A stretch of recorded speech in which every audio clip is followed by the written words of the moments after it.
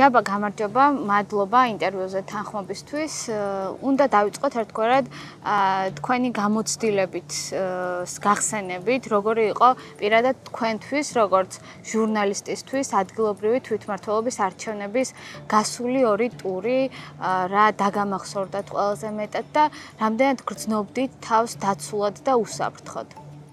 მოგესალმებით, დიდი მადლობა, რომ დაინტერესეთ ჩვენი მოსაზრებებით და ჟურნალისტების რა პრობლემები ექმნება არჩევნებზე გაშუქება ეს მგონი ძალიან მნიშვნელოვანია და ერთის მხრივ აჩვენებს იმას თუ სად არის ჩვენი ქვეყნის დემოკრატია. ხო, იმიტომ რომ ჟურნალისტები სვამთ კითხვებს სწორედ იმიტომ რომ ეს კითხვები აქვს საზოგადოებას და თუ კი საზოგადოება ვერ მიიღო კითხვებზე პასუხი და მას არ ექნება სრულყოფილი ინფორმაცია, ის ვერ გააკეთებს არჩევანსაც. და ჩემთვის ამ არჩევნებზე ყველაზე დასამახსოვრებელი მომენტი იყო პირველი ტურის არჩევნები, მაინც როცა მივე მივედი ჩაოლებრივად ჩემი მობილური ტელეფონით, ლაივ კამერით და დავსვი შეკითხვა ერთ-ერთ კოორდინატორთან, რომელიც იყო მობილიზებული, მგონი ინფორმაცია რომ რიგდებოდა მათ შორის ფულით, ანუ ამ შორის მოსყიდვის ფაქტები ხდებოდა. კოორდინატორის რეაქცია პირდაპირ იყო ის, რომ ის პირდაპირ დამესხა თავს, ანუ ჩათვალა რომ შეეძლო ხელი ეკრა კამერისთვის და ეთქვა რომ გათიშეხლა ეს კამერა და შენ ამის უფლება არ გაქვს.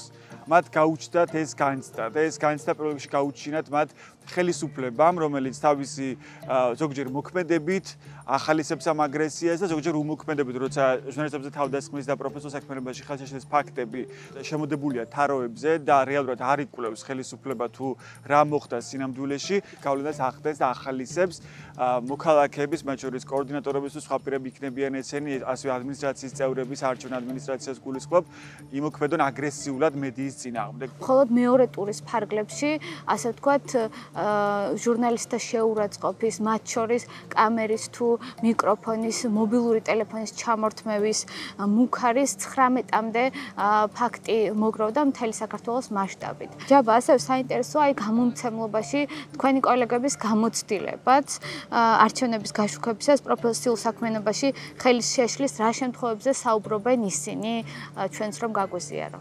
ჩვენ ვიცით ძალიან ბევრი საქმე, როცა ჟურნალისტი იყო თავდასხმა, შანტაჟი ან ასე შემდეგ, ეს არ უკავშირდება მხოლოდ არჩევნებს, მაგრამ ვიცით რომ არ არ გვაქვს ამ კუთხით გამოძიებული საქმეები და საქმეები, რომელზეც რეაგირება მოახდინა იმან, ვისაც უნდა მოეხდინა ეს რეაგირება.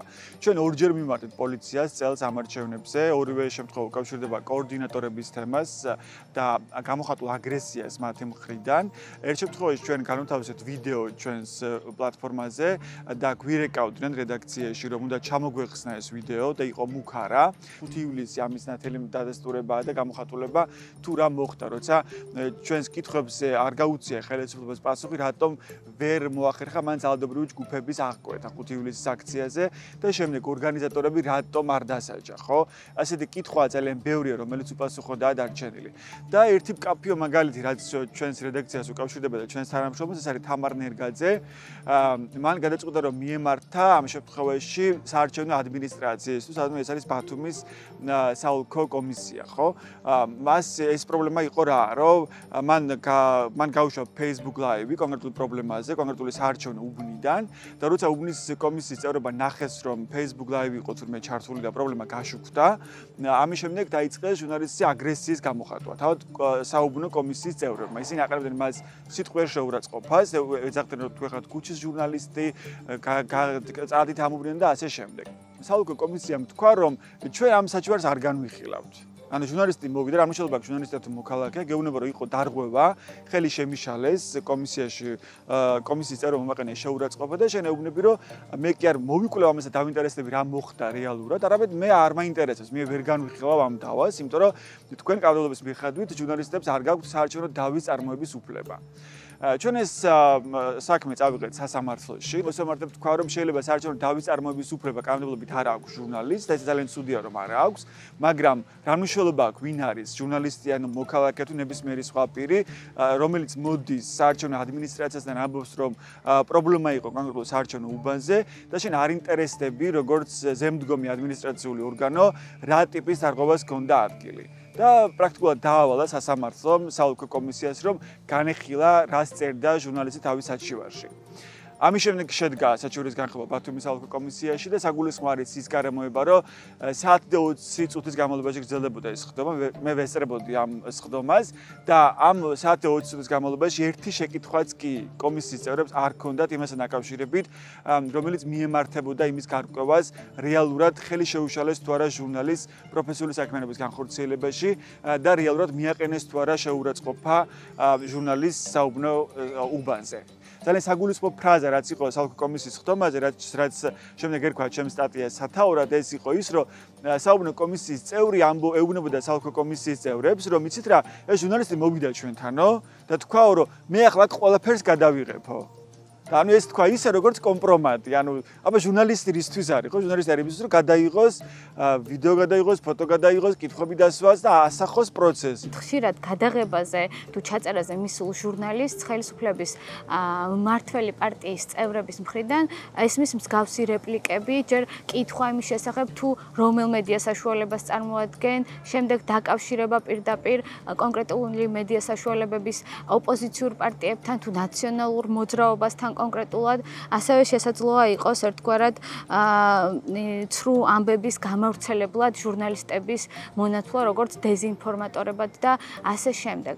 ერთის მხრივ ასეთ დროს იმალება და იფარება ჟურნალისტების კითხვები იმ მნიშვნელოვან საკითხებზე, რაც საზოგადოების თითოეულ წევრს ეხება და მეორე მხრივ ისევ და ისევ ახალისებს და ასე ვთქვათ, უბიძგებს საზოგადოების სხვა წევრებს ძალადობისკენ. აი თქვენთვის პირადად მსგავსი ტენდენცია რაზე მიუთითებს? ძალიან ცუდი ტენდენცია და საფრთხე ტენდენცია ის ხელისუფლების მხრიდან, იმიტომ რომ ხელისუფლება ვალდებულია რომ მან გასცეს ნებისმიერ კითხვას პასუხი და მნიშვნელობა არ აქვს ამ კონკრეტული მედიის უკან ვინ დგას. და თუ მას ეჭვიეპარება რომ კონკრეტული მედია საშუალება კეთილსინდისერად არ იქცევა და ამახინჯებს რამეს, რასაც ის თავად ამბობს ხელისუფლება რასაც ამბობს, ხო? და თუ კი არასდროს ინფორმაციას გადასცემს, ხო? ამისთვის არსებობს ჟურნალისტური ეთიკის პარტია. ჩვენ ამისთვის გვაქვს ეს ინსტიტუცია, ინსტიტუტი რომ მიმართოს ნებისმიერმა ხელისუფლებამაც, მოქალაქემაც, ნებისმიერმა დაინტერესებულმა პირმა, რომ თუ კი მიიჩნევს, რომ ეს სათუ ჟურნალისტი არის არაკეთილ სინდისიერი და ამახინჯებს ფაქტებს და არ ცნობს პროფესიული ეთიკას, ეს გამოარკვიოს თავად ჟურნალისტთა корпуსმა, ხო, ჟურნალისტური ეთიკის ქარტიამ და დაადგინოს ქონა თუ არა დარღვევას ადგილი. შემდეგი 3 წლის განმავლობაში ოფიციალურად, ასე ვთქვათ, აღარ არის არჩევნები ჩანიშნული, ანუ მართლ პარტიას აქვს გარანტირებული 3 წელი ძალაუფლების და ხელისუფლებაში, ანუ უმრავლესობით ყოფნის. რა შეიძლება მოხდეს, როგორ შეიძლება შეიცვალოს ჩვენთვის, ჟურნალისტებისთვის გარემო, რა ახალი საფრთხეები შეიძლება გაჩნდეს. ნუ ბუნებრივი მოლოდინები არ გვაქვს რომ საფრთხეები გაქრება, სადმე წავან ხელისუფლება ისე შეიძლება პოზიტიურად პოზიტიური დამოკიდებულება გაუჩნდება მედიის მიმართ, რომ ეს აგრესია მას აღარ ექნება ჟურნალისტებს, არ დააბრალებს ჟურნალისტებს იმას, რომ ის თავად რაღაცას ვერ აკეთებს. მედია ხშირად აკეთებს იმას, რომ ეს კითხვები, რომელიც შეიძლება იყოს უხერხული ხელისუფლებისთვის, ეს კითხვები ისმება, ეს კითხვები ჟღერდება, რაც ბუნებრივია ხელისუფლებას არ მოსწონს და არც მომავალში არ მოეწონება, ხო? და ჩვენ ხა ვართ იმ ზღვარზე, როცა დავინახეთ, რომ რეალურად ეს ეს მოგება, ხო, ეს ზღვარი, თქვა იგივე ბათუმში, არის ძალიან მინიმალური და მცირე, თქვა, რაც იყო ქართული ოცნების და ნაციონალური მოძრაობის წარმომადგენელს შორის. და ბუნებრივია პოლიტიკური ექსპერტები ხშირად საუბრობენ იმაზე, რომ ეს არის ერთგვარი ლეგიტიმაციის ზღვარი და კიდევ უფრო მეტი საფრთხე და გამოწვევა ხელისუფლებისთვის, რადგანაც ამ ვითარებაში კიდევ უფრო მეტად იზრდება ზეწოლა ხელისუფლებაზე და უფრო მეტი კითხვა ჩდება მის საქმიანობის მიმართ. საუბარია იმ საფრთხეზე, რომ შეიძლება კიდევ უფრო მეტად გაქრეს ის პლატფორმები და ის საშუალებები, რომ მედიამ იმუშაოს და შეძლოს ინფორმაციის მიწოდება საზოგადოებისთვის.